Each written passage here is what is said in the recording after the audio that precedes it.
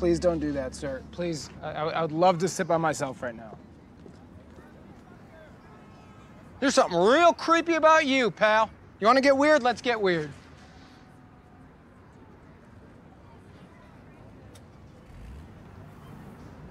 You got a nice face. An anger problem?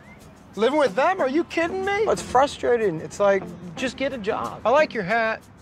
I like how it's not a team or a logo, it's just blue. Would you rather be covered in fish scales or feathers?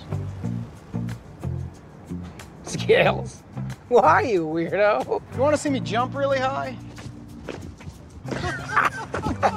I'm afraid of dying, man.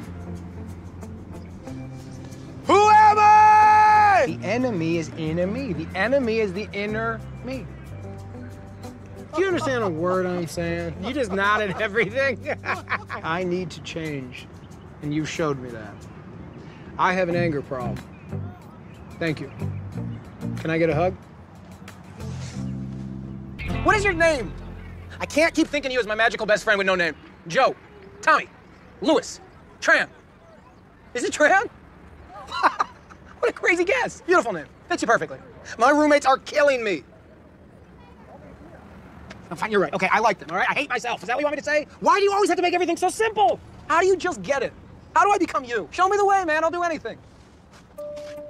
Uh, all right, man, I'm in. You lead, my man. All right, whatever's about to happen is gonna happen. Okay. What is this place? What are you? What would you like? What does this mean? Let's not do this. Let's not take off our clothes. Let's go back to the park where it was good.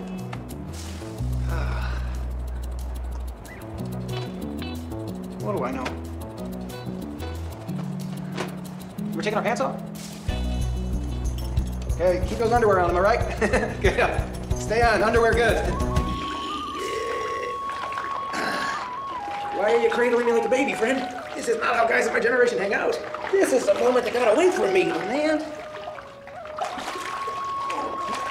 Oh, that's my butt. This is intimate. Oh.